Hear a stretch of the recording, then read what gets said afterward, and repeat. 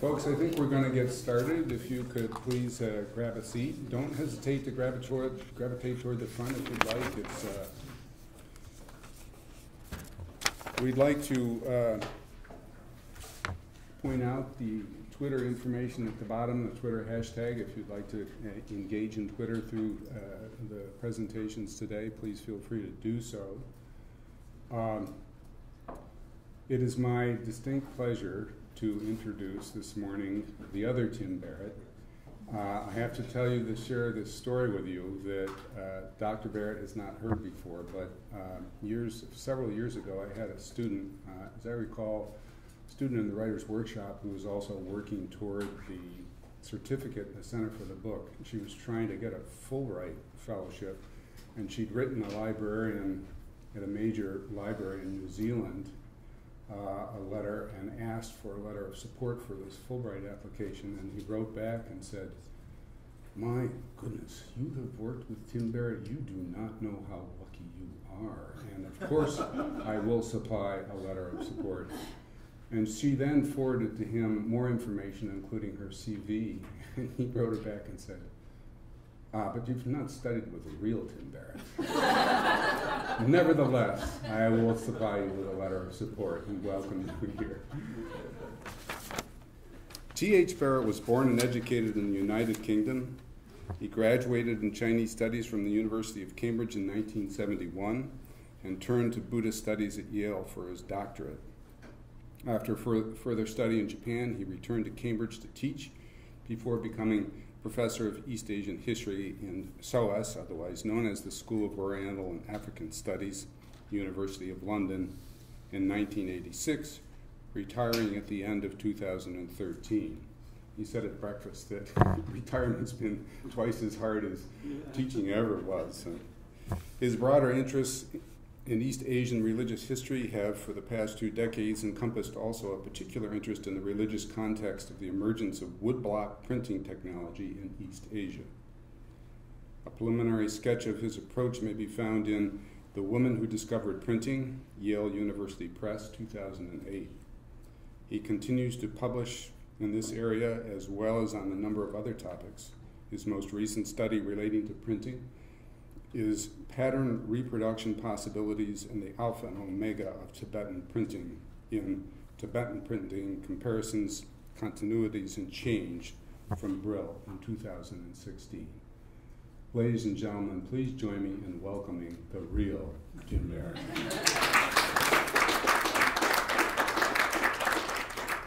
After that introduction, I feel, Tim, I really ought to hit back at you. So I'm going to tell you um, uh, that when I was uh, heading out and I, I, I, sent the details of um, what my flights would be to my, my three daughters, my oldest daughter is a lawyer. She's, uh, she's a, she became a lawyer because she's too clever by a long way. To, you know, she's too smart. And so she said, I'd, I'd written, I'm going to see uh, uh, Tim Barrett, who's the real expert on paper. And she wrote back and said, on paper maybe, but in real life, uh, I've already been uh, with Tim just, just, just for breakfast, and I already know that, that, that she has no reason to doubt that. um, but I, I have to start with um, a few words. Uh, I guess uh, I, I, mean I could spin this out for, for, for at least a quarter of an hour um, with a few words saying that I've never, I never intended when I started out to be a, uh, involved in the history of the book at all. Um, I was trained um, as a historian um, of, of, East Asia and especially of um, the religion of East Asia. Um, but I was very fortunate to have uh, um, examples of senior scholars when I was first starting teaching in, in Cambridge who uh, who inspired me with the breadth of their approach, and, their, and they had an interest in, in um, the history of the book in some ways. And I also at Cambridge, um, and since I moved to London, um, I've been in touch with people who, whose scholarship I have found extremely uh, useful and supportive, and um, in the wider world, um, others who have uh, helped me with my work. Um, I, I could make a long list, but I realized I'd have to say something like that because the convention is uh, in acknowledgements, as you've all seen at the beginning of the book. Then the, the, the acknowledgements end up, of course, all the errors uh, are mine alone.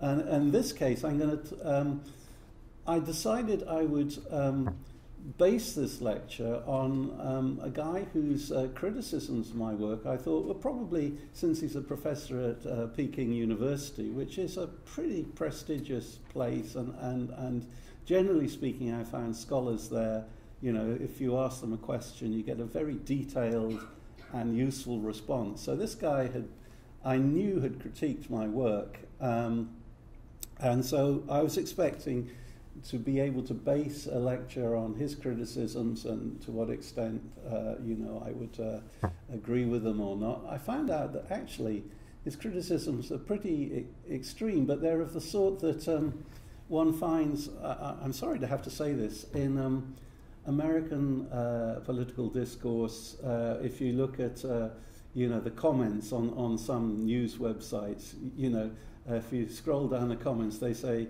You're an idiot. Why are you an idiot? If you don't know you're an idiot, then you're obviously an idiot because I don't have to explain why you're an idiot, sort of idiot. uh, uh, that's, um, I'm afraid, there's a touch of that in what's going on, which has made my task uh, today a bit difficult. But I thought I'd, I'd persevere. Um, because it does give me a chance, as it were, to, to give a synopsis of what I, have been doing um, uh, recently um, and to uh, correct some errors or have some errors corrected for me, um, and also to uh, um, go through the work of somebody who's extremely thorough um, in addressing all the questions that are raised by um, the history of the book in China specifically. when does uh, the move to uh, printing from woodblock occur? Um, so, um, the title of the lecture then was uh, Buddhism and Early Printing. Um, that printing has no necessary connection with Buddhism is obvious.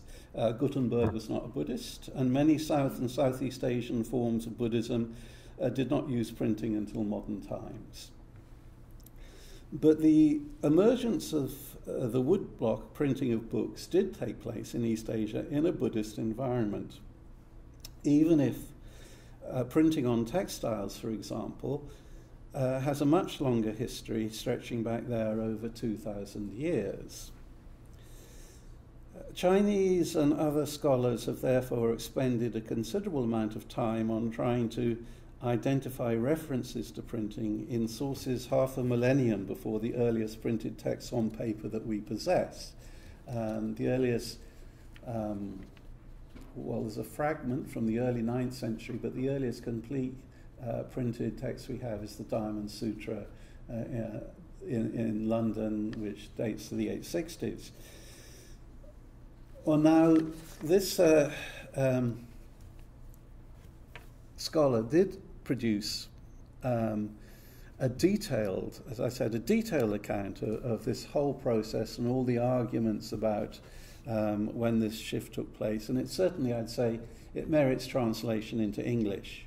Um, though um, his text is about 140 pages in Chinese, and he writes, um, as one would expect of a professor at Beijing University, in a, quite an elegant and concise style. So in English, it would be quite a large book. Um, his name is Xin De and um, it, his work is available online.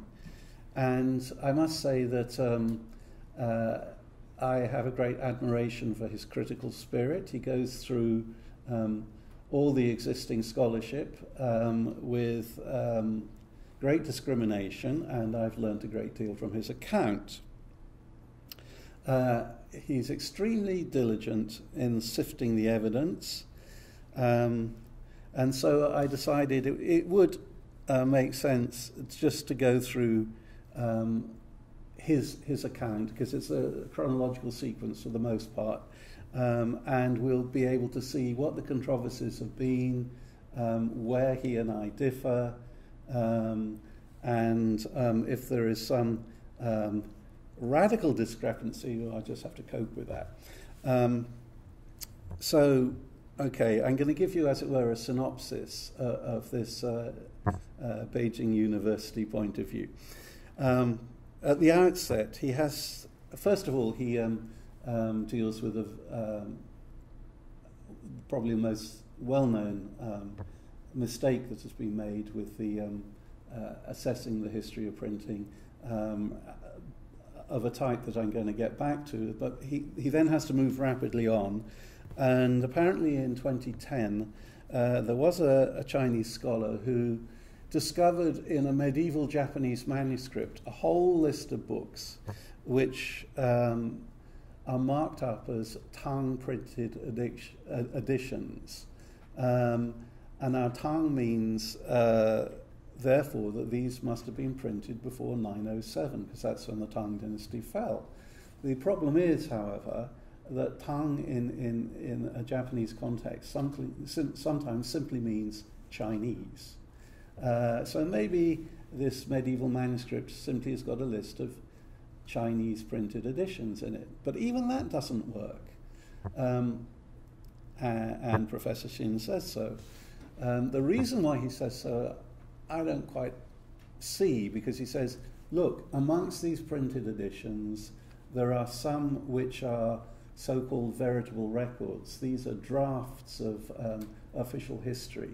And he says, what are they doing there? Because we know from, um, he quotes a, a, a late, well, an early modern source that says drafts of official history were very restricted.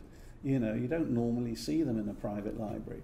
Um, well, you didn't in, in, you know, 15th, 16th, 17th century, but you certainly did in earlier times. And uh, we know, for example, that some of these were exported to Japan, and I don't know if they were printed or not, but you find them in, in um, private library catalogues of uh, after the Tang period. So I think the point that these were not works that were circulated, that doesn't work. However, something that makes me pretty sure that we've not got a list of printed editions here is that it includes um, in the list a massive encyclopedia um, from about the 700s, which, as far as I know, only ever existed in manuscript. It, it was so big that people would take extracts from it, and uh, we've got some examples of that. And uh, again, a copy was exported to Japan um, in, in the 800s, and, uh, and that um,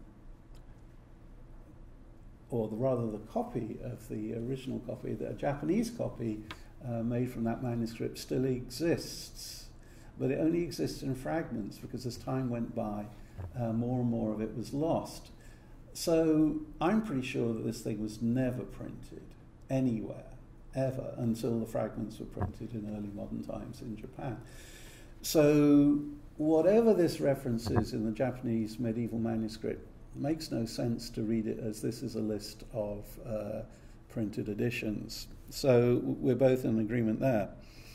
Um, but most of the earlier part of Professor Xin's survey is taken up with resolving problems caused by shifts in the scope of the meaning of words, especially words later associated with woodblock printing activities. Now, at what point did they acquire the meanings that in later times, uh, perhaps after the 10th century, for example, seem to suggest to the reader um, that, that uh, these that something to do with the use of woodblocks is concerned. Um, I can't think if there's any European analogy, but it is a real problem uh, in, in China that, that um, people would read back a meaning to do with woodblock printing into the earlier language. Um, and the, these go a long way back. You know, some people have seen um, read printing into the, this kind of language as far back as the se- second century CE. Um, so that's a, a, major category that he has to clear up, and uh, as far as I can see, he does that very accurately, very efficiently. Spends a lot of time on the different cases in chronological order, uh, and, and sorts all those out. And, and, there are some other misinterpretations that he deals with, which I've found very useful. Um, for example, there is a case in the mid 6th century where you find stone engravers have produced an inscription, but it's in mirror writing, as it were. It's turned the wrong way around. And some people have, have suggested, oh, well, it's in mirror writing, so you can take a rubbing of it and, and go home with that, and, and it's the right way round. Um, the problem is, and I think he's right about this, it occurs in um, a sort of monumental context where you've got the mirror writing on one side and the ordinary writing on the other. And uh, also, the whole idea of going home with an in, uh, inscription as a souvenir seems a bit strange. And he says, well, actually, this is just a trick. You know, they wanted to do something decorative, so they had the straight writing on one side, and on the other side, they turn the writing around. It's just for an aesthetic effect. Okay, I'll buy that. You know, I, um, I wasn't sure before, but I think he makes a good case. Right, and then there is a, another, I mean, that's a minor example, but I'm glad he cleared that one up. Um, but then there is another a major category, right? And that's the category where, um, again, I think he does very well. He has very good critical instincts. And this is the category of the over optimistic evaluation of existing materials. You know, uh, you get a thing, it's printed, when was it printed? You just got to argue if it's not actually got a date in it, you know, and, and you can't rib it apart or carbon date it or anything like that. You've just got to come to your best kind of judgment about that. And inevitably, there are, you know, there are optimists in this area, right? There are everywhere. Um, and um, there's at least one of these cases where, again, he, he's um, picked up on something that I was uh, at least prepared to take at face value um, and may have mentioned in, in print myself, um, where on reflection, um, yeah, it makes more sense to the way he sees it. This is a, um, a Buddhist manuscript, and on one side of it, uh, on the verso as it were, um, there is a government seal and also some stamped images of the Buddha. Now, the government seal, according to some people, was the seal of an office that only existed around about 500 CE. And he says, look at the seal carefully. In fact, it's uh, an office that only existed around about 600 CE. That sounds more reasonable to me because, um, as we'll um, see in a minute, um, on the assumption that the seal and the Buddha images were put onto the manuscript at the same time, which is an assumption. Um, and of course, the, the, the, stamps on the back don't have to be anything like the same date as the manuscript itself, whatever date that was.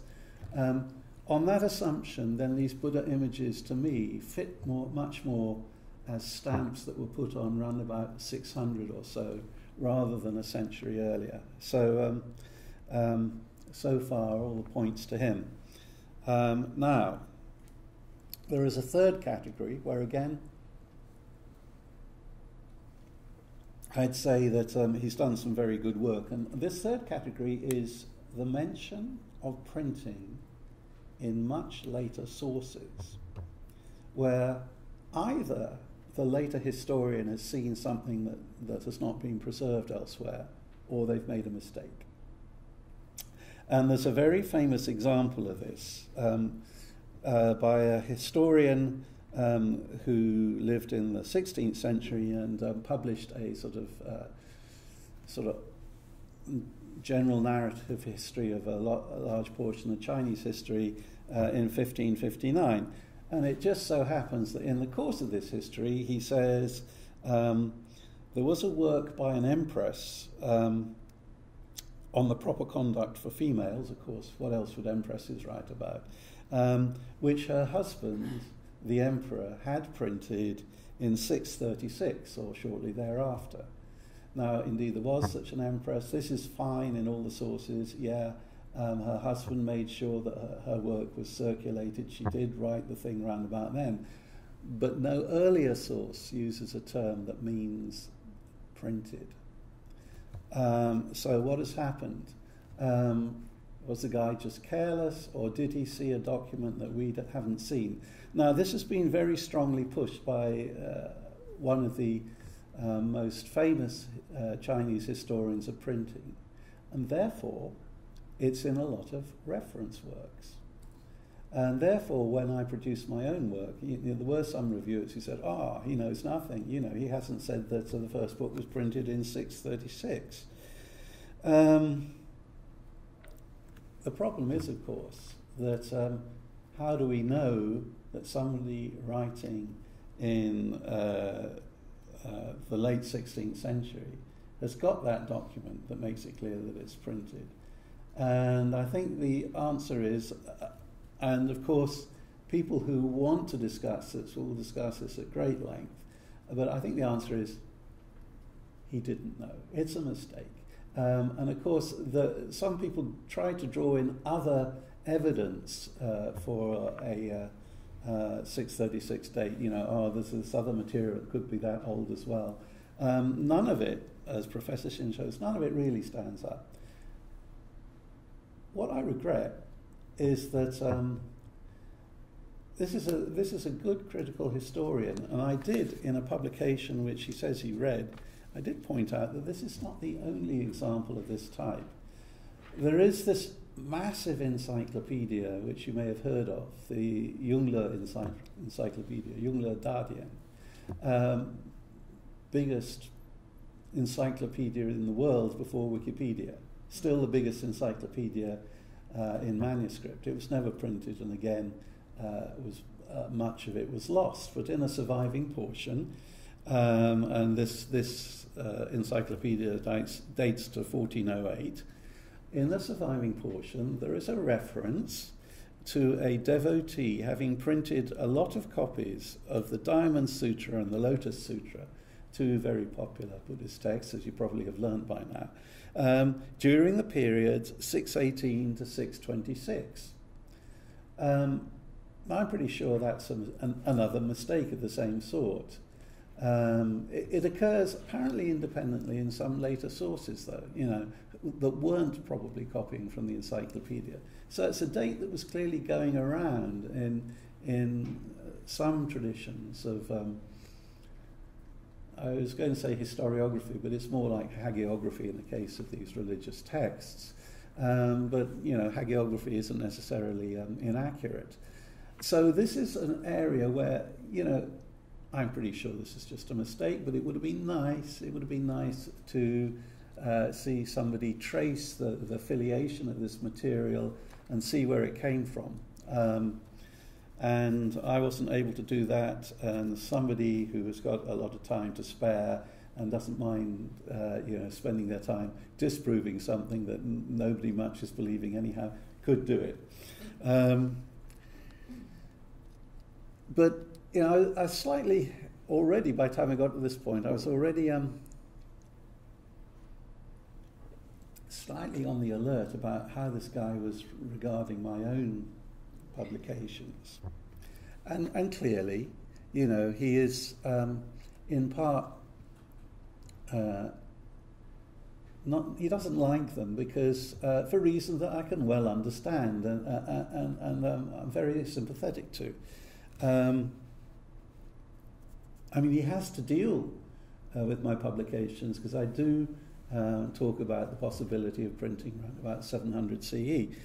Um, but it's not his kind of scholarship, and, and it's not, in some ways, what I've published in, in, in, in a book on, on printing is not my kind of scholarship either.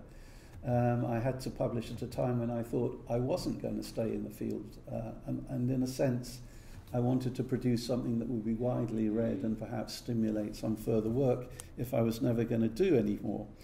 Um, and um, also, I wanted to focus in my work not on trying to pin down exact dates for printed documents, because there's always the possibility that, and I had, of course, my publishers in mind, that such a book could be outdated by archaeology overnight.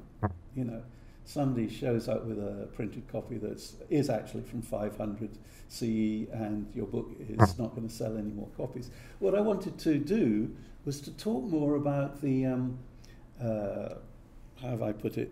Uh, the cultural and especially the religious environment in which printing emerged and the kind of ideas that could have stimulated uh, the production of, of printed text. Because I thought that's something that's always going to be useful, even, even if we know a lot more um, about actual examples of printing. Um, but the way I introduced that topic, um, you know, probably disposed him to think I was an idiot right from the start because what I did was I start, started talking about um, climate change and the possibility that in the, in the, the uh, early to mid 6th century there was a massive climate shock that um, had an effect on uh, the world environment. Um, and um, uh, obviously, that kind of scholarship uh, um, is bound to be speculative in, in, in some respects. Um, and that was clearly uh, not this scholar's approach. You know, it's not comfortable with speculative um, history, um, and really, uh, it's not a topic about which I or anybody else could, could offer a definitive opinion at this point. Maybe once we've got much more um, climate evidence in and people have looked not simply at that, but at um, archaeology and so forth, maybe we'll get more of a grasp of this. Um, but I had two reasons for going in this direction. The first one was I'm trying to interest people who are readers of English in a topic which is kind of rather remote from them. Uh, now, I think, I don't know about um, North America, but certainly in, in, Britain, nobody really is interested in Chinese history if it was not observed by Europeans, which means, you know, Marco Polo onwards, Mongol Empire onwards. You know, stuff that just happened to Chinese people doesn't rate very high uh, as, um, you know, popular reading matter. Uh, never will. So I was trying to say, uh, by approaching it through climate change, look, there are ways in which the planet has always been a unity. Uh, you know, it's worthwhile thinking about um, the 6th century or 7th century in global terms. Um, even if it has to be a bit speculative. That's the first point I wanted to make. There was a second point. The second point is that I wanted to deal with, um, how shall I put it, a climate of feeling as well as uh, a literal global climate. Um, what I mean is, um, obviously, response to a, a, global climate shock, there are some areas where people seem to be taking it, the historical consequences, quite seriously, like the plague of Justinian, for example. Um, you know, it's not just journalism. Uh, to some people, there really was a plague that does seem to have been stimulated by some um, climactic developments. Um, so, you, uh, because there's a lot of evidence for how the plague worked and so forth. Um,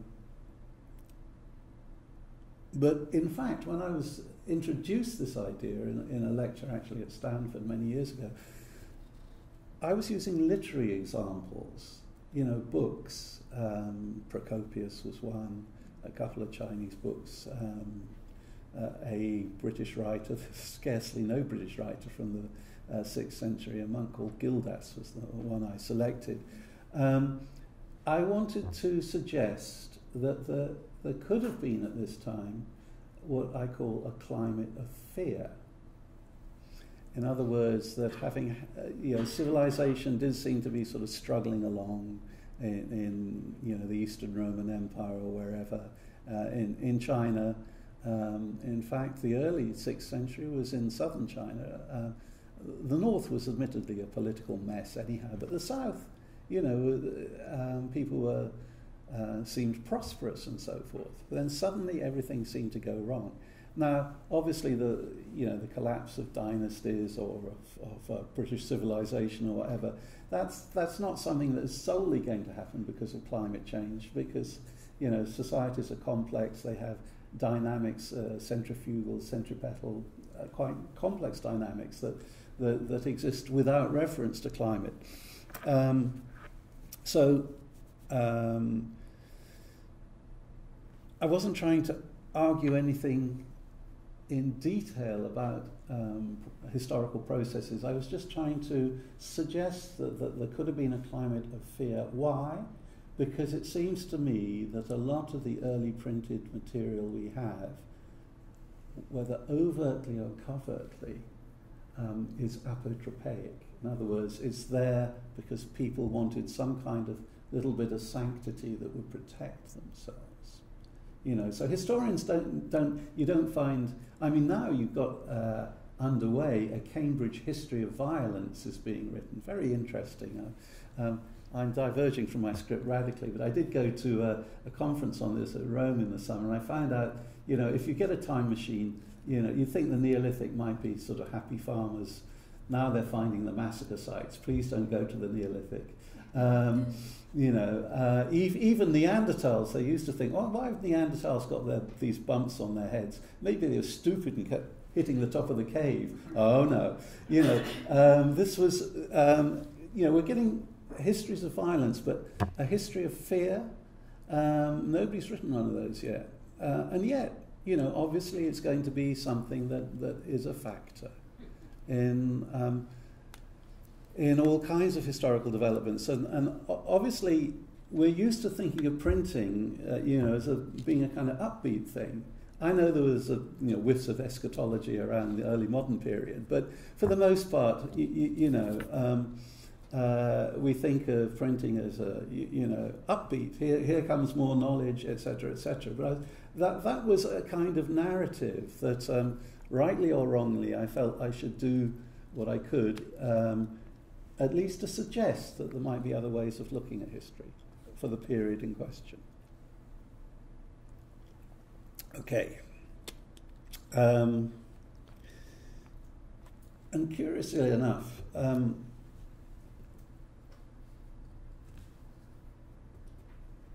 I mean, this, the, my, my critic, Professor Xin, says, well, the guy lives in England. What does he know about the Chinese climate? Um,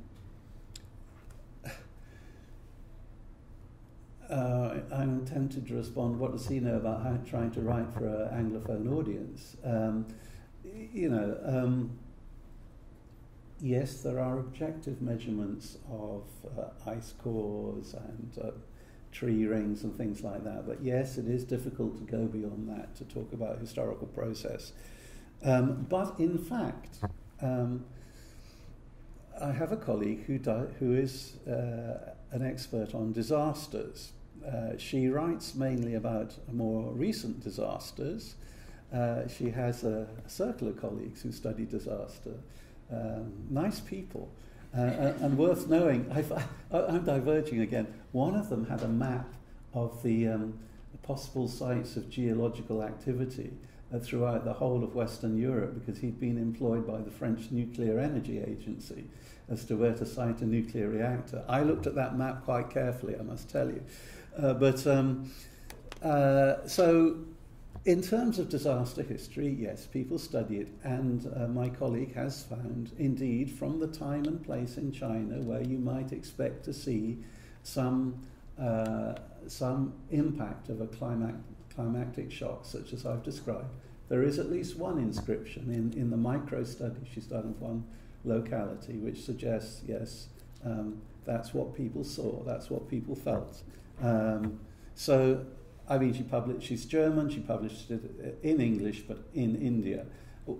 Whether that, you know, whether she's qualified uh, to comment on the Chinese climate or not under such circumstances, uh, you know, not for me to say, but I would have thought um, perhaps her work was worth reading.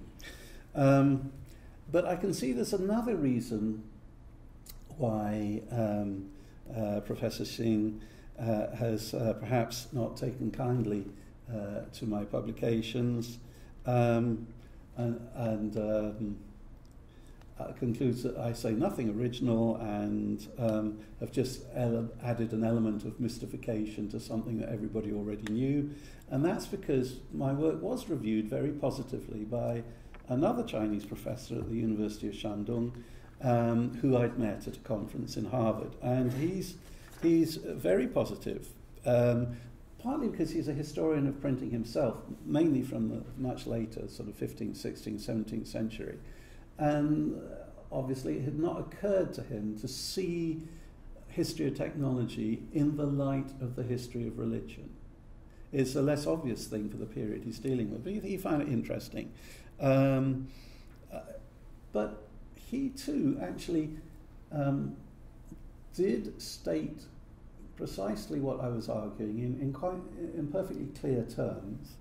Um, and of course, he says, yeah, but there's no evidence of the hypothesis. Uh, it needs verification, and that's that's that's a um, that's a reasonable point. We'll get on to. Um, so, um, in fact, and I see no sign of this in my critics' work. In fact, what I was arguing for, um, I don't think had, was unoriginal. I don't see it in earlier scholarship. I was arguing for this. It might be good to see the origins of mass printing, perhaps in the context of a specific ritual um, related to rulership, uh, whereby, and this is a religious ritual, whereby um, Chinese rulers, or rulers elsewhere perhaps, um, were demonstrating that they were emulating the great Indian ruler Ashoka. Now, Ashoka um, is well known today because some, many of his inscriptions were recovered archaeologically and have been analysed. But uh, at the period we're dealing with, say 6th, 7th century, He's important as a legendary figure. It's not uh, the, the modern history of Ashoka based on inscriptionary evidence. It's Ashoka in Buddhist legend is the key Buddhist monarch.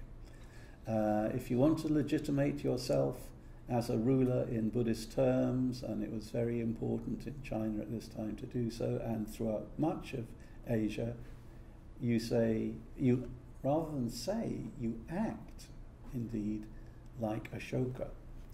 Um, and that's uh, what I was suggesting um, could have happened. Um, and that's why I'm disappointed to see that idea not being engaged with and to see that um, at least 80% of what I published, not, not in the book, because the book is for a popular audience, but, but in the research articles that I had done originally, uh, to try and um, document the hypothesis um, insofar as it's possible. Um, 80% he never mentions. He does mention the, the, the uh, uh, that, that's uh, four out of five articles. He mentions the article where I got some stuff wrong um, somehow. Uh, um, but in fact, what I was trying to do in the book was to move on from, from, from you know, raising these issues via talking about climate change um, to talk about what is this idea about Ashoka, because again, it involves some ideas which are unfamiliar uh, um, to an English language readership and that I wanted to try and convey. It's all about relics, uh, in this case, the relics of the Buddha. But when you say relic, um, you cannot simply think in the terms. If you're a medievalist, you'll know all about relics. They were really important. Um, you know, in, in certainly, um, perhaps to some extent, even today in southern Europe, we northern Europeans maybe less so. Um, but but certainly, if you you know there are the whole uh, you know swathes of southern Europe where you would understand what you know what relic veneration was all about. But in Buddhism, we're talking about relics of the Buddha for the most part um, as, as the, the sort of locus of a particular kind of sanctity that can be um, protective uh, and, and, so on. Um, relics are different from, from um, out west. Um, relics are different in two ways. First of all, uh, if it's the relics of the Buddha, he's a, he's a pretty amazing being, and they can manifest themselves not only as bones, Buddha's teeth, Buddha's whatever, but as jewels. Is that magic? Um, so you could have a, a, jewel relic, and it's still a relic of the Buddha. Um, or, and, and this is even more amazing, the Buddha's words are his relics. The Buddha says, you know, he who has seen my words has seen me. Yeah? That goes a long way back in Buddhism. That means that a Buddhist text embodies, as it were, a relic of the Buddha and is in itself as holy as the Buddha's tooth or anything like that. So that's different. Um, and indeed, um, when Richard Salomon uh, arrives uh, for his lecture in this series, you can question him about this because I find the, uh, the overview of um, his research as he published uh, over a decade and a half ago now quite interesting. He's dealing with materials that are about 2,000 years old. And yes, you can see that um, some of the materials he's dealing with are texts that are treated as relics. Um, usually, um, if you're going to put it in a small reliquary, um, it's, it's got to be a short text. And in that case, it's not whole Lotus Sutra or something, it's just a summary of Buddhist doctrine. Or um, it could be something even more condensed than that. It could be what we call a dharani. And now, a dharani, um, you can think of it lots of different ways, but uh, basically, uh, in this context, the it's often translated as a spell, um, considering that um, you know the word dharani's got all kinds of, kinds of diacritics on it. Uh, so if you haven't got uh, a, a, a, font that uh, deals quickly with that, then perhaps you'll call it a spell. Um, but, but a dharani is um, like the message of the Buddha so condensed that it's no longer intelligible as ordinary language. It is, as it were, um, it's a bit like a zipped file or something. You know, mm. it's it's kind of um, you know, you, unless you can unpack it, it's kind of totally unintelligible. Um, but it it is therefore because it's a sort of condensed uh, uh, essence of the Buddha's uh, textual presence. Uh, it, it, it, can um, be very handy uh, as uh, as a relic. Um, and I'm going to say some more about that um, shortly. But anyhow, um, this is the kind of background then that I had before me when a German uh, colleague came and showed me the draft translation of a Taoist text uh, from the 7th century. Um, I could talk a bit more about the circumstances in which he appeared and showed me this text, but I won't. Um, I noticed there that he translated a passage which says, Taoists um, can legitimately, as it were, this is a normative text, Taoists may create images in a number of different fashions. They can make them out of uh, you know, metal or wood or whatever, blah, blah, blah. There's a long list, and it says, and they can make them out of snow, and they can stamp them on paper. Now, what I found interesting about this is that uh, this text is pretty much datable. We don't have an exact date, but it's, it's probably um, 600 to 650, um, pretty definitely, and probably more to, I'm, I'm veering towards 600 really. Um, and indeed, um, Chinese and other colleagues uh, uh, are um, coming down towards that date as well. So here we have um, an affirmation that Taoists may legitimately create uh, their own, uh, and an image is another form of uh, uh, um, site of sanctity as well, can create these numinous objects out of snow or by stamping on paper. Um, that's why I think that maybe these Buddhas stamped on the manuscript I talked about earlier, uh, 600 is a reasonable date. Um, but as far as I know, there's nothing like that in any Buddhist text from certainly of that period. Um, partly because, of course, Buddhist texts are translated from Indian languages, and uh, in India they mainly use palm leaves um, or birch bark, uh, sure, um, maybe a bit of paper in the northwest around about Gilgit. Um, we'll come back to that. Um, what they do use, however, uh, aside from that, is they will stamp on clay.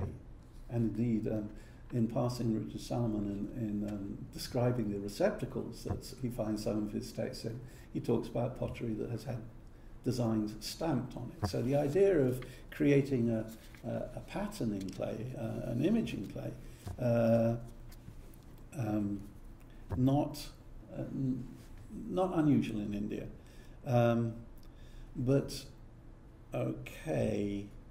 Um,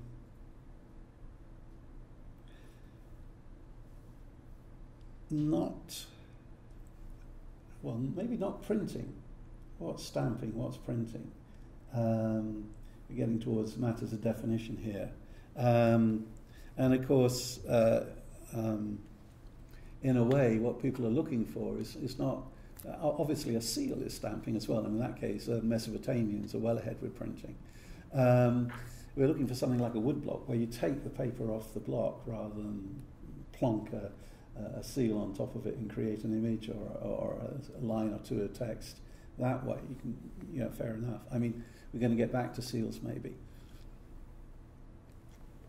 But um, Professor Xin does pick up a passage that's been well known since the 1920s.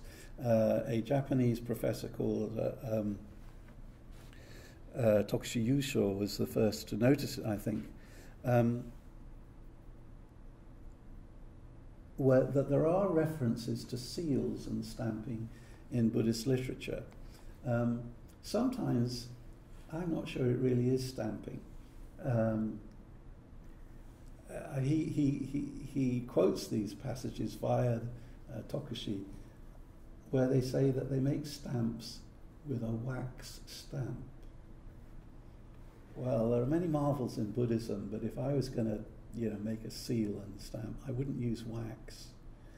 Um, I think what these texts are talking about is the process of molding using the lost wax technique, where you can create a pattern with the wax, but it's a molding technique rather than a stamping technique. But um, that's, as it were, by the way. Um, let's uh, yeah let's let's leave um, uh, the other example we're going to go back to and, and just say that uh, um, whilst we're with stamps and seals and so forth, I did attempt in one article to suggest that um, maybe you could see um, what appear to be shortages in seal carvers as reflecting a, a switch away of their energies from creating seals towards being used to create um, blocks or, or, or, or um, uh, matrices for the production of print. Um, there I was wrong. He says, nah, it's not to do with uh, there not being enough makers of seals, it's to do with there being too many people wanting seals. And I, I did what a lot of people do uh, if they're not really um, as well educated as uh, Beijing University professors. I missed an allusion in the text to an, you know, an earlier historical episode, so I got that wrong. Um, and um, well, uh, okay, um, I I'm only sorry that um, you know in, in, trying to look for um, uh, reflections of the rise of woodblock technology in other by looking at it sideways. If you haven't got the evidence, maybe there's an evidence you can look at from, you know, what happens to seal carvers No, that didn't work. What happens to textile dyers? By the early 8th century, certainly people are using um, um, these types of resist where a piece of cloth is clamped between two blocks and then dye is inserted. Now, the level of technology you need for that with woodblock is certainly sufficient to create texts if you can create complex patterns that way. It's not exactly the same technology, uh, but it's, um, it's certainly, uh, if you can do it, you can print from woodblock. Um, but uh, no comment on that, I'm afraid. No comment. So um, uh, we'll just leave that one hanging there. Um, but, in fact, going through the, the, you know all this stuff about seals, blah blah blah, you know, early examples, date, wrong dates. In general, you know, I, I'm more or less in agreement with this guy, except there is one crucial reference where there is a clear divergence of opinion, and this concerns a Chinese pilgrim who went to India, stayed there a long time, and he came back and he said, in India, when they make little reliquaries, what they do is they stamp uh, some of the Buddha's words or whatever on silk or paper. And this is, in fact, what I hope will be a discussion point. Um,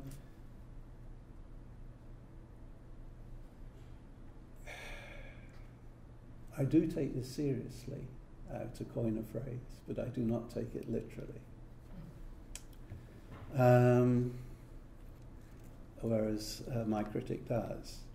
What led me to suspect that this might not be literally what the guy saw is that he also mentions Indians make Buddha images out of snow.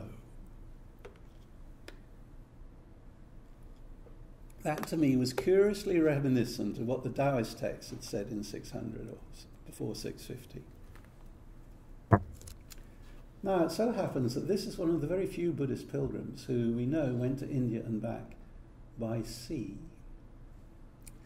And indeed, uh, another Beijing University professor I've known for many years has done a very good study of, of this guy's journeys. Did he go anywhere in India with snow in it? No. And yet, his text is supposed to be a normative text uh, again, a normative text that tells you this is how they do things in India, this is how we should do or could do things in China. And even more than that, this guy had a very interesting experience at the end of his journey. He goes to India, he comes back, and then he arrives back in Canton by sea as you would if you're going to India.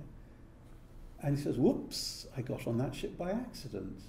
Uh, no, I'm going back as far as at least Indonesia um, and uh, I'm going to sit there and write a book. What? The guy's been away for 20 years. He comes home and then suddenly he says, Oh, I shouldn't have done that. And he goes back in the opposite direction again. What is going on? What is going on, if you're cynical like I am, um, is that you think maybe to write a book outside China in a Buddhist environment gives you an authority you don't have in China itself.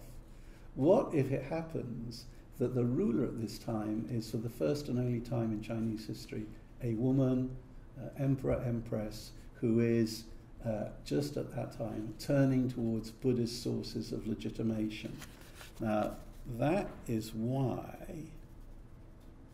I thought, wouldn't it be convenient if the guy comes back with a message? You can create uh, text by stamping and putting them in reliquaries just at the time when there is a, a ruler on the throne who is using every possible means of legitimation through through or, or earlier she'd used a lot of Taoist means as well, but certainly through Buddhist means at this point. Could it be that she was thinking perhaps, ah, I can do an Ashoka, um, I can distribute lots of relics. Uh, it had been done in China before, but it had been done with jewels, it had been done on a lavish scale, not so many reliquaries, but big ones, you know. Um, but what if you were to do it with little reliquaries, with a little text. What text? Now, uh, a, a, colleague um, teaches were uh, um, Ann Arbor, um, Paul Copp, uh, has done a very thorough study of these Dharani, these spells, and he sees a great upsurge in interest in them from, from the 6th century onwards into the 7th century. A lot more use of them, and that's why I talked about the apotropaic uh, aspect of this whole religious environment. People are becoming much more interested in these spells, and these spells are promising much more. Make, make a, uh, you know, 100,000 copies of this, and your life will be increased. Not only that, but if you're a woman, you'll be reborn as a man, uh, you know, whatever. Um, all kinds of stuff are being, yeah, it's, um, I'm afraid that's really, um, uh, that's the way things were then. Um, sorry. But, but um, all these promises uh, uh, uh, for people who, who, who multiply the copies of these spells, what if, and, and this in a sense is very typical of um, how uh, Chinese rulers behave. What if there is a public spectacle? Look, I'm being like Ashoka. Um, at the same time, you're also multiplying texts that will make you live a lot longer. Um, and there's another thing I've noticed more recently that the Ashoka thing is typically a late career move. Um, why? Because the real Ashoka, in fact, says this in his inscription, but it was also in the legend. To get to be Ashoka, you have to kill a lot of people first. And then you suffer remorse. And then you say, uh, violence isn't the way. And then you distribute the relics of the Buddha. Huh? so if you are, you know, getting on a bit, you've been empress for a while, you've managed to fend off, you know, most of your rivals. Well, the early rivals were other, you, you know, members of the imperial harem. You dealt with them, but you know, all the male members of the clan who hate you, you, you managed to fend them off. You deal with a foreign invasion of northern warriors. Pom, pom, pom. You've killed a lot of people but you're getting really quite elderly and a bit tired. Wouldn't you play the Ashoka card and say, enough of violence, I'm going to be the religious ruler from now on. You know, this is just a hypothesis, okay? But to me, it was a hypothesis that was um, worth looking at. Um,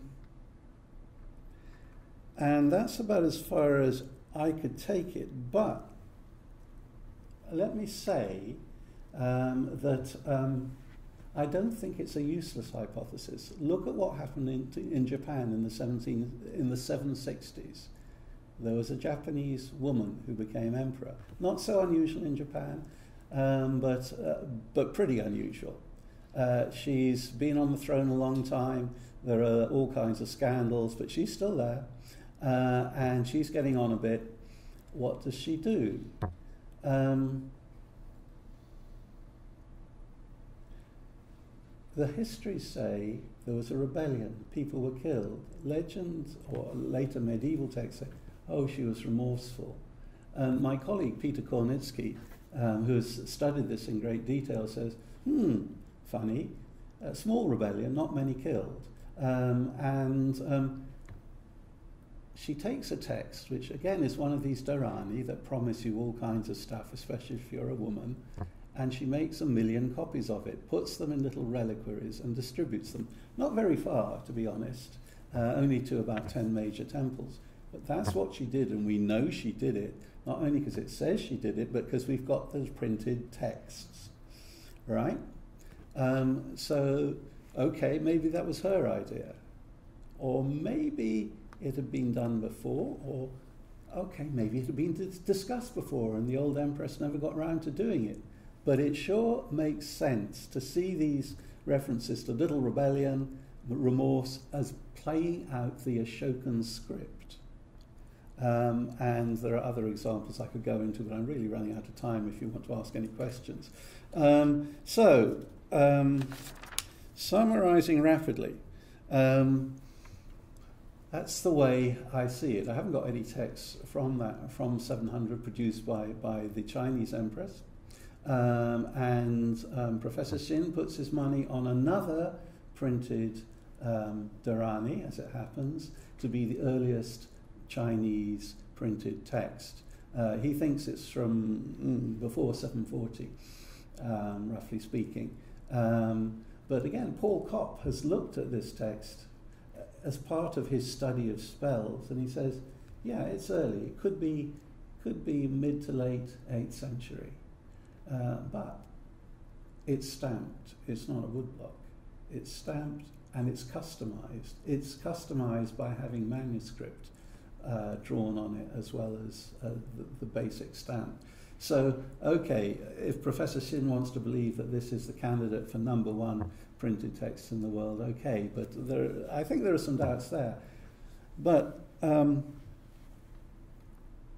what nobody has managed to do is to look at a text printed in China um, of the spell that was used by the Japanese empress, that was translated in the reign of the Chinese empress, empress emperor, I should say, um, and it's in a Japanese private library. And that could, um, it, it couldn't invalidate my hypothesis. It might, up to a point, validate it but nobody's seen the text because it's a private library. Peter Kornicki has written to them for photos, written for anything, sent money, no response. Uh, so, um, I mean, that's not all the uh, possible evidence there is for my hypothesis. There is also another uh, interesting circumstance I'll just mention, which is that, okay, suppose she has got this spell and she is distributing it in huge quantities around her kingdom and beyond her kingdom, because that's there were precedents for that, you know. Um, it's interesting that this, a copy of the spell doesn't survive anymore. Um, did reach Korea by 706, which is just after she died. Um, we don't know if it was printed, maybe it wasn't, but it certainly shows possible evidence of um, sorry, deliberate distribution um, you could invalidate that by showing, oh, anything that was translated in, in China showed up in Korea a year later all the time. Um, I haven't tried to invalidate things that way, uh, but it just seems an interesting circumstance um, that, as I say, together with this thing in, in, in the uh, Japanese private library, does require um, more uh, research. And I think I'll leave it there because, uh, in fact, I think that this whole what is the earliest printed text, in a way, is a bit of a wild goose chase. You never know what's going to show up. Uh, the stuff we've got, there are arguments either way with a lot of it. What I suggest is much more interesting, especially for those of you who are working on manuscript, is um, China is not like the Gutenberg thing where there's a clear before and after things move much more gradually. Uh, it's not a printing, it may have revolutionary uh, uh, effects in the long term, but it's not a printing revolution in the same way, uh, if that was a printing revolution. Um, it's much more like, and this is the uh, metaphor, I know it's imperfect, but I've tried it out on colleagues already a, uh, um, a couple of months ago. It's more like mammals in the age of the dinosaurs, right? that, that there is a manuscript world of huge beasts, you know, manuscripts, you know, uh, rolls and rolls of them, and scuttling about there are little furry printed objects, as it were. Um, and what happens, uh, and this is not a perfect analogy, is that um, just as the dinosaurs seem to got wiped out by, oh, climate change as it happened, um, uh, there were pressures on manuscript culture that built up for various reasons we can discuss in the 9th and uh, 9th, 10th centuries that gave the little furry mammals, as it were, the little uh, printed things, more of an opportunity. And that's much more the model that we should look for. And I would hope that uh, that will be of interest not only to historians of print, but to historians of manuscript. And that's, I think, where I'm going to leave it because I would love for you to give me some questions. Thank you.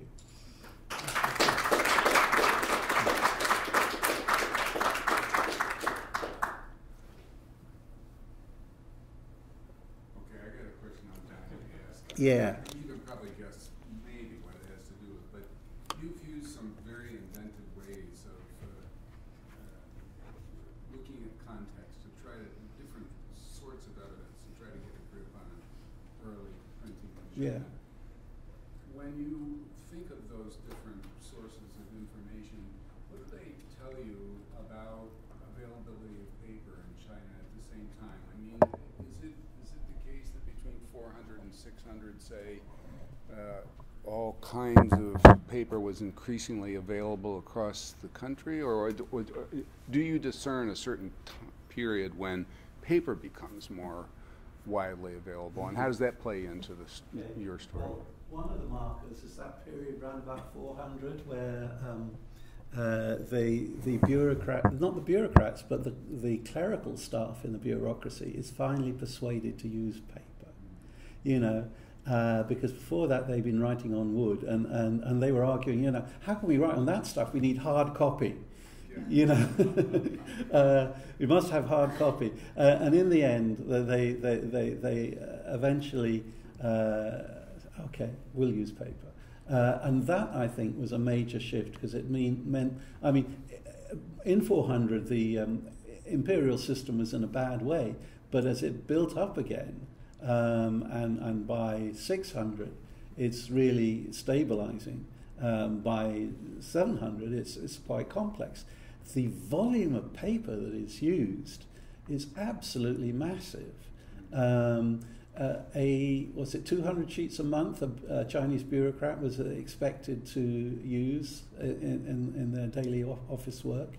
Um, and if you think of the number of bureaucrats, I, I, I should try and my teacher Denis Twitchett in a paper that I lost uh, that he published um, uh, pointed out that the time bureaucracy was quite small, but where you've got 20,000 bureaucrats using 200 sheets of paper a month, that's a lot of paper.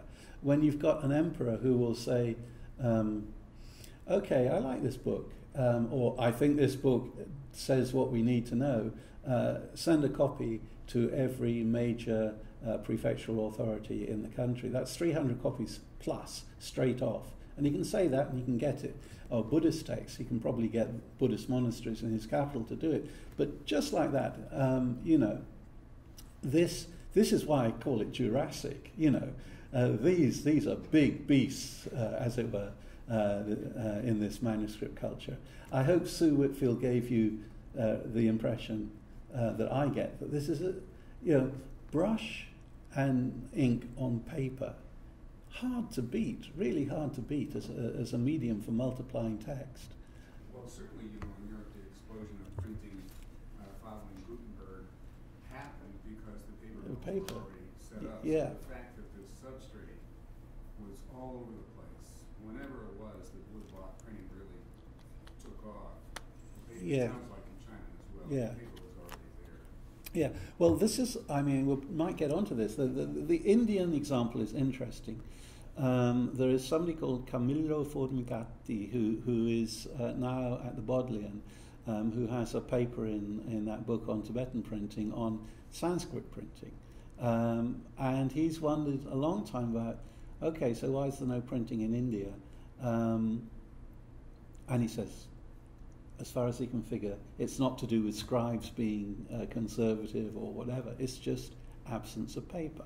Now we have to qualify that uh, with the fact that there was some paper in some parts of India. But um, one thing that I- I'm interested in about this this guy who says um, in India they use silk and paper in these reliquaries is um, uh, let's start with silk. Um, Yes, they knew about silk. They was exported from China, as we know. The Roman Empire was full of silk. You think Caesar, you know, picks up a bit of silk and says, "Ah, we can write on this stuff." Um, uh, if he did, then Cleopatra said, "You can also turn it into rather diaphanous stuff, big boy." You know, um, probably that's what you want to do, isn't it? Um, so I don't know of any examples of Romans writing on this stuff. I doubt that Indians, having imported silk, would do that. Um, you know, to actually use it as a writing material um, in such a, a context. And, and paper, too, as far as I can see, would have to be an import and w- would be expensive and would be subject to the, you know, maybe you could make a fan with it or something fancy. But to just use it as an ordinary writing, because you'd have to, uh, for a start, you have to throw away your iron stylus that you were using for writing on palm leaves, or your iron-tipped pen that you were using for writing on birch with. You know, uh, according to Richard Salomon, the, the, the, the, pen that they were using was the kind that I used when I, I was a child, after I graduated from the slate, that is. Um, you know, the one that you dip in ink and, uh, uh, and it's got an iron tip. Um, you'd have to, if you, I mean, you might use a wooden stylus or something, but, but certainly, if Indians were really stamping messages um, on silk or paper, then the silk or paper had only been imported to stamp messages on, not as a writing material. And if you could stamp the messages on clay anyhow, which is what archaeologically, since the mid 19th century, is all we have ever found, and we found quantities of this stuff with, you, you know, the, the message of Buddhism stamped on clay for a reliquary, why bother with importing paper or silk? It just doesn't make sense. I take it seriously, I do not take it literally. Yes. Well, not knowing any of the relevant languages, you seem to have made a good case that the parallel to Taoist references is um, suspicious. Is it also possible that faced with some material that he didn't know, he could also have just called it paper or whatever the word for paper was? The same way people today make mistakes in calling papyrus a kind of paper. I know. Um, yeah, this is why you know all these arguments about the meaning of words. You have to be very careful. Um, uh, and I agree with you that that is a constant problem. Um, but in fact, one of the reasons that um, um, I should really go back to the context because I don't want to mislead you. When he accidentally went home to China, what did he pick up? A lot of paper and some pens. He knew what he was talking about. Yes. Uh, this, I mean, you know, I don't blame the guy, but um, I think we found it, you know, credible that a lot of, in political context, people sometimes just lie through their teeth. Is it not so? And something we of have little experience of that lately. and in this particular context, I just, yeah, that's not the way I, you, you know, I am very suspicious. Yeah. Yeah. Uh, thank you. Just want to unpack the argument a bit about how printing develops specifically in a Buddhist context. So, uh, and I'm seeing all of this through my kind of Mediterranean, Western, late antique lens. So you're saying that in uh, Buddhism, there's an idea that you can have the mechanical reproduction of sanctity in a certain sense. Yeah. So you can multiply relics by uh, stamping various yeah. items, uh, and that in particular in Buddhism, there's also a notion that the word of the Buddha is uh, the Buddha. is the Buddha, and so therefore those two ideas converge, and the idea of woodblock printing is, is born. So. Or yeah, I mean the idea of printing is born, and, and uh, woodblock becomes especially a way to manage when the texts move on from these little things. Especially. Right. Because, okay. I mean, this is the Buzzy Teiser question. The, if you know Stephen Teiser, who works in Princeton on manuscripts and right. so forth. Um, his question to me is okay, I can see the argument you're making, but then what? Uh, my answer is um, because there is a continuity uh, between the Dharani or whatever it is and the uh, short texts like the Diamond Sutra, which is the earliest printed book, which again has the same quality of being a relic and having a sanctity of its own, on to bigger and bigger texts. In other words, uh, you move on from the tiny thing to the bigger thing. But I think the context in which you do that historically could be much later than we think. I mean, um, the whole exercise of, of looking through my own work as criticized by somebody who thinks I'm an idiot has been very helpful for me um, because it, it makes me reflect on, you know, what do we know? And um, I think um, whatever credibility you give to some materials being uh, stamped at an early date. And, and one of the points he raises is that maybe he's got some uh, scholars who think that the Japanese stuff was stamped rather than woodblock printed. Um, but however far you run the stamping process, I can see some reasons why things change in the ninth century. Now, the ninth century, for sure, uh, the earliest thing we got is a calendar. Calendar, you need a lot of them at New Year, none the rest of the year. You need a lot uh, very quickly. Uh, and you can sell them, can't sell them any other time. Print, you know. Uh, but other stuff, I think there are. Uh, yeah, I don't want to keep you from, from any lunch or anything, but I think there are circumstances in which um, you move on from the tiny things uh, to larger Buddhist texts in particular. I've got a short article about the earliest recorded print run where there is a very specific case where a guy does some printing, but you have to see that he was a, a um, he was a politician, as it were, who'd been caught out uh, with his hand in the till, and he needed to salvage his career very quickly. Um, and um, what he was printing was a medical text. Uh, you know, he was doing a bit of uh, charity work, huh? uh, which is a good way to redeem yourself politically if you're caught doing something you shouldn't be doing. Um, and you know, again, there's uh, we want a lot of this in a very short time. There are particular circumstances, but then um, I can also see in the late 9th century general circumstances coming in that are pushing towards printing, uh, which we could go into, but uh, maybe, um, yes. So I have another question. Okay. Um, when Mark Burnett and Burnett and uh, Susan Whitfield were hit here, what I found the most persuasive evidence visually, as again, as somebody who works on medieval Europe, right, Yeah. was the woodblock at the beginning of the Diamond Sutra. It has a complexity and ability that nobody in Europe reached with a printed thing until etching.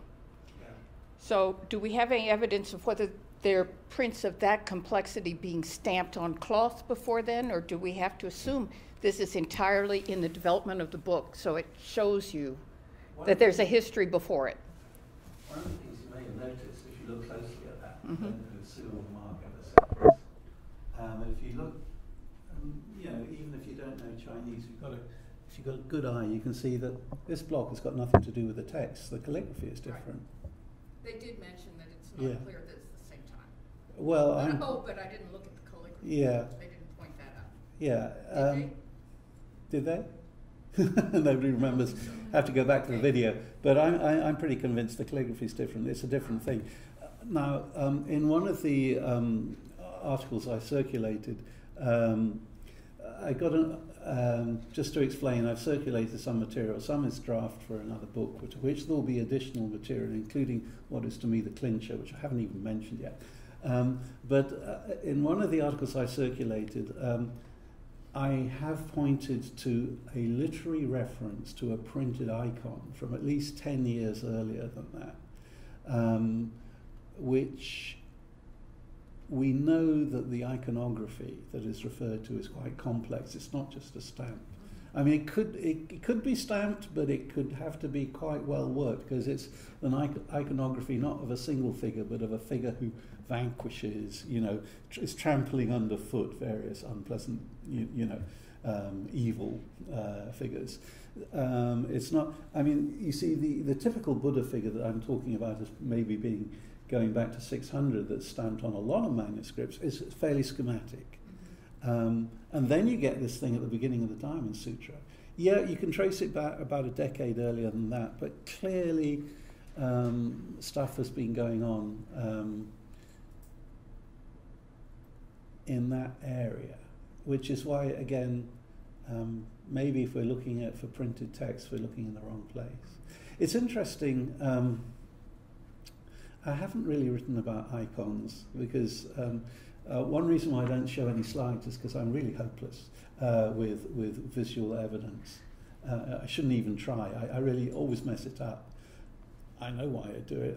Because the the uh, guy who was teaching us about Chinese art when I was an undergrad, very eminent, became a vice chancellor, or, or at least deputy vice chancellor of a major Chinese university. Very boring, and I kind of switched off in the lectures, and so you know, my my my fault. But the study of iconography tends to be very separate from these guys talking about the study of print.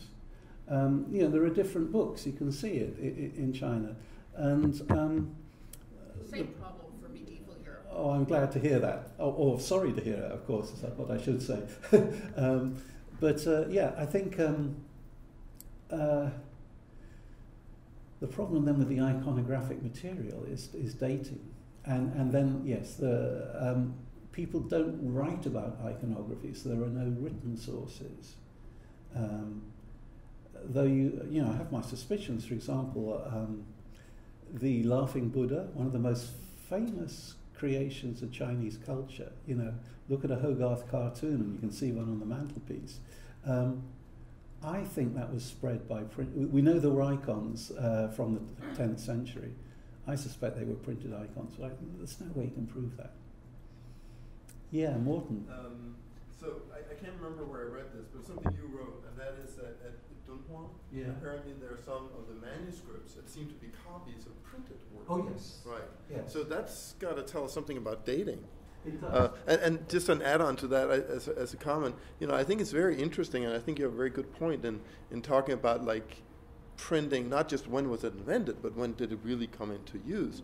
Because you know, I work on the Song, which is hundreds of years after we know that printing was uh, invented, and people were still copying by hand. It was very, very common. Lots of manuscripts around still. So obviously, printing uh, at a very late point really became dominant, right? So. Let me tell you uh, what that article shows. Um, there are materials which are in manuscript at Dunhuang that are taken from printed copies. What kind of stuff are they? Um, they're things like reference works, dictionaries, uh, medical works, uh, uh, what would you call, uh, advice manual works. You, you know, um, how should your how should your daughter behave? Stuff you, you know, you know um, the kind of um, stuff that is a steady seller, in other words, that makes commercial sense. Um, and of course, religious works. Um, but the, it's the secular works that are in some ways the most interesting. They're the stuff that, um, okay, you know that bookshops, because of Amazon and so forth, are kind of becoming extinct. But in Britain, at any rate, there are things that call themselves bookshops. And you go in there and they're selling all kinds of stuff. They sell books for sure, but they're the kind of books that are really very cheap. But kind of, you look very hard and you don't see anything you want to buy because it's all kind of aimed at the lowest possible denominator. You, you, you, you, know, um, I get the impression that printing was like that a bit uh, in, say, the late 9th century. Now, there is a guy who talks about this. He says, now, at one point in, in the late 9th century, the emperor has to run away because rebels have attacked the capital. He runs to West China, famous refuge place of emperors who are forced to run away. Um, and one of his officials goes with him and he says, um, Whoa, I went into a bookstore and boy, they had all this stuff about a clan, you know, reference works about clan rules and things like that. It was all printed.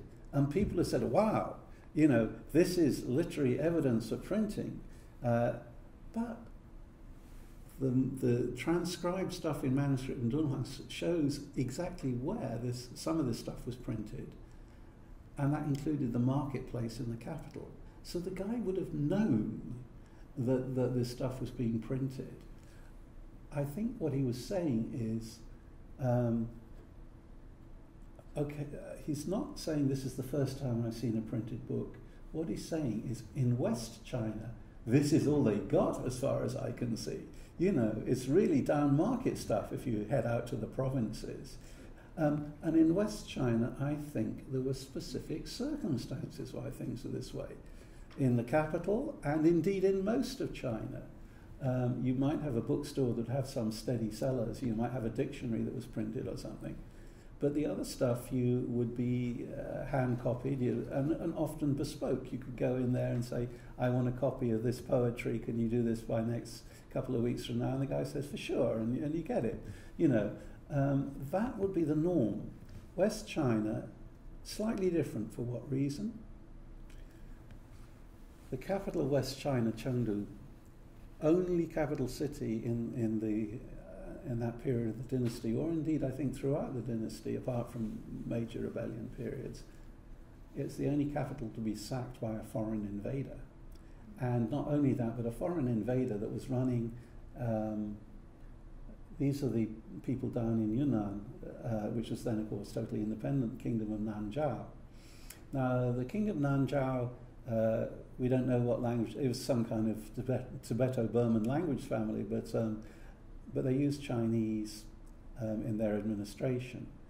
So they needed Chinese scribes. So, of course, when they sacked, they looted the place. They took all the artisans and they would have taken all the scribes as well because they needed them for their own, um, for their own state. Um, and that probably meant that to buy a book in West China for the rest of the century until they trained up enough scribes again is probably going to be more expensive than normal, and that's and that, you know one of the circumstances under which a printed book could probably come into its own. So the the guy is saying, "Oh, I went into a bookshop, and it was printed books." It doesn't mean he'd never seen a printed book before. It means this is unusual, but there are reasons why it was unusual.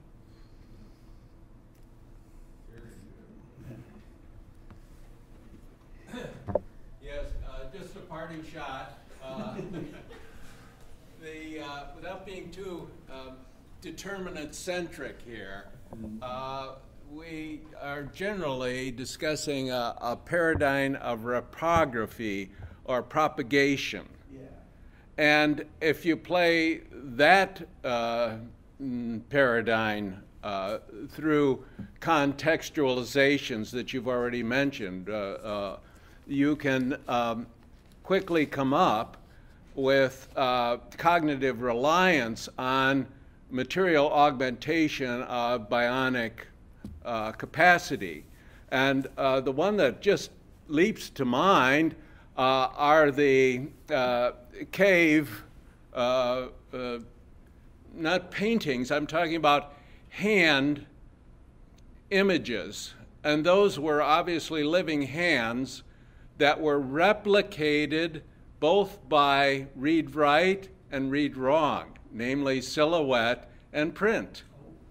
This is precisely where I start my uh, description in the book on Tibetan printing. Mm. If you, you know, H.G. Uh, Wells said printing is the most obvious of inventions, and in a sense, you're absolutely right. It goes back to cave women. There seem to be more female hands than male hands, right? And basically, uh, that's why I talked about pattern reproduction in that article, because there are basically two ways to reproduce a pattern by direct contact, you know, stamping onto clay or something, or just putting a, a mucky hand on the clay, the cave wall, or by blocking. In other words, you put your hand on the wall and you daub some stuff around it, and you've got the, as it were, negative of the hand.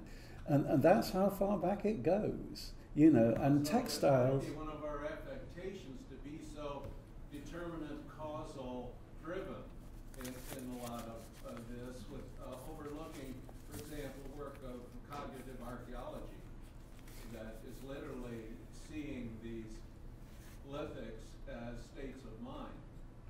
Yeah, I mean, well, I, when I started out, you know, uh, I don't know if you have it in elementary schools here or before elementary schools, in kindergartens, whatever, the potato cut. Okay, uh, I see people nodding, they've handled potato cuts. Yeah, okay. Uh, I have a daughter who's an elementary school teacher. I said, okay, the potato cut, how sophisticated is that cognitively? She said, by three, most of them get it, some of them don't yeah? Okay? I've never put that in print, but that's what she told me. thank you so much. Oh, thank uh, you. Just fabulous, uh, uh, triggering uh, thought. Thank you. You got a quick punch. you.